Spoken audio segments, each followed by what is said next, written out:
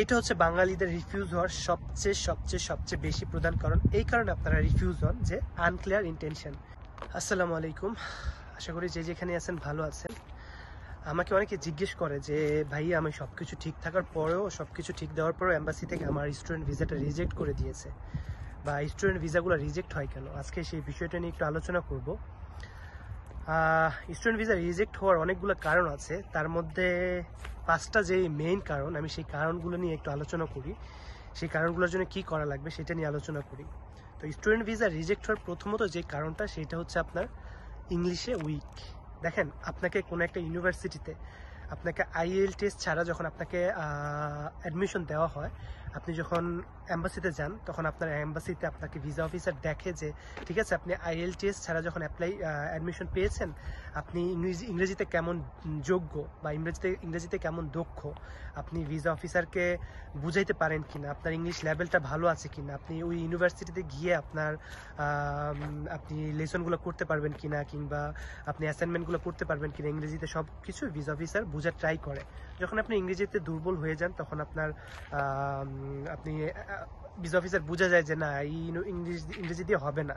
তখন আপনাকে রিজেক্ট করে দেয়। বা আপনি এমন কিছু প্রশ্ন তৈরি করে যান যেগুলো ভিসা অফিসার আপনাকে জিজ্ঞেসই করে না। ঠিক আছে? বা উল্টাপাল্টা আপনাকে রিপ্লে করে ফেলেন? তো এটা হচ্ছে সবচেয়ে মেইন কারণ। ভিসা অফিসার আপনার আপনার ভিসা অফিসার আপনার ভাষার দক্ষতাটা বুঝতে পারে না, সেই জন্য রিজেক্ট করে দেয়।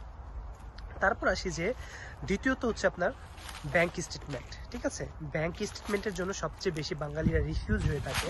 আরেকটা কারণ আছে, সবচেয়ে বেশি যে কারণে রিফিউজ হয়, আমি বলছি। ব্যাংক স্টেটমেন্ট আপনারা করেন কি, একটা কোনো রকম একটা ব্যাংক অ্যাকাউন্ট নিয়ে বা ফেক অ্যাকাউন্ট নিয়ে আপনারা দেখাই দেন। বা আপনার চাচা, মামা দাদা ফার্স্ট ব্লাডের কেউ না, ঠিক আছে? ফার্স্ট ব্লাডের কেউ না। সো আপনারা যখন ব্যাংক স্টেটমেন্ট দিবেন, সবসময় আপনারা চেষ্টা করবেন যে আপনার বাবা, মামা বা সরি বাবা, চাচা বা ফার্স্ট ব্লাডের যে আছে তারটা দিতে, ঠিক আছে?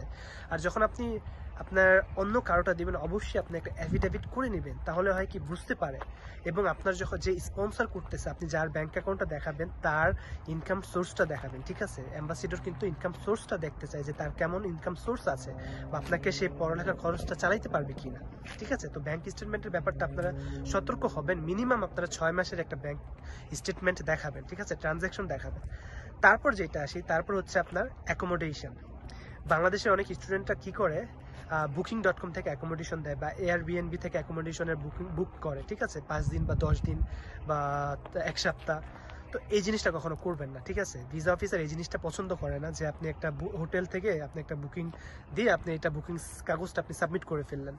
আপনি চেষ্টা করবেন মিনিমাম আপনার কোর্স যেহেতু চার বছর, তিন বছর, দুই বছর থাকে, এত বছর আপনি একটা জায়গায় থাকবেন না, এটা ভিসা অফিসারও যায় না আপনি হয়তো বাসা চেঞ্জ করবেন। মিনিমাম চার থেকে ছয় মাসের একটা অ্যাকোমোডেশন লেটার কন্ট্রাক্ট সহ মানে আপনার সাথে যে ফ্রান্সের বা হাঙ্গেরির বা ডেনমার্কের যে একটা বাড়ির মালিক বা অ্যাপার্টমেন্টের মালিকের কন্ট্রাক্ট হয়েছে তার সাইন এবং আপনার সাইন সহ সেটা আপনি অ্যাম্বাসিতে জমা করবেন, ঠিক আছে? তাহলে অ্যাম্বাসি অ্যাম্বাসিডর বুঝতে পারে যে আপনি এখানে আসলেই থাকবেন, আপনি আসলেই স্টুডেন্ট পড়াশোনা করতে যাচ্ছেন। চতুর্থ যেটা, সেটা হচ্ছে আপনার আনক্লিয়ার ইন্টেনশন ঠিক আছে? এইটা হচ্ছে বাঙালিদের রিফিউজ হওয়ার সবচেয়ে সবচেয়ে সবচেয়ে বেশি প্রধান কারণ। এই কারণে আপনারা রিফিউজ হন যে আনক্লিয়ার ইন্টেনশন আপনাদেরকে যখন ভিসা অফিসার কিছু জিজ্ঞেস করে, আপনারা তো এমনি ইংরেজি বুঝেন না, আবার উল্টাপাল্টা রিপ্লাই করে ফেলেন, ঠিক আছে? আপনারা যখন ভিসা অফিসারের কোনো কিছু বুঝবেন না, আপনারা যখন ভিসা অফিসারের প্রশ্নটা বুঝবেন না, তখন ভিসা অফিসারকে জিজ্ঞেস করবেন যে সরি আমি বুঝি না আবার প্রশ্নটা করো। আপনারা ভুলভাল রিপ্লাই করবেন না, ঠিক আছে? এইটা মারাত্মক একটা ভুল। আপনারা যতটুকু পারেন ডিপ্লোমেটিক অ্যান্সার দেওয়ার ট্রাই করবেন, কারণ ভিসা অফিসার জানে, আপনার থেকে হয়তো ভালো ভালো স্টুডেন্টসরা বাহির অপেক্ষা করতেছে। আর ভিসা অফিসারের কাছে এত টাইম নাই, আপনার জীবন বৃত্তান্ত নিয়ে গবেষণা করার। আপনাকে হয়তো স্পেসিফিক কিছু প্রশ্ন করবে, ঠিক আছে? তো আপনি এই জিনিসগুলো আপনি খেয়াল রাখবেন।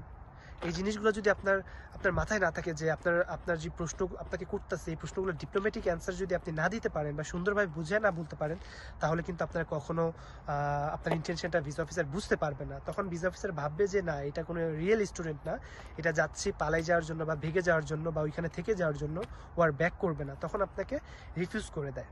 আর একটা কথা আমি বলতে ভুলে গিয়েছি আইএলটিএস ছাড়া যখন ইউনিভার্সিটিতে আপনার অ্যাপ্লাই অ্যাডমিশন নেয়, তখন অনেক ইউনিভার্সিটি থেকে আপনার স্কাইপিতে একটা ইন্টারভিউ নেওয়া হয় যে আপনার ইংলিশে আপনি কেমন দক্ষ সেটার উপর।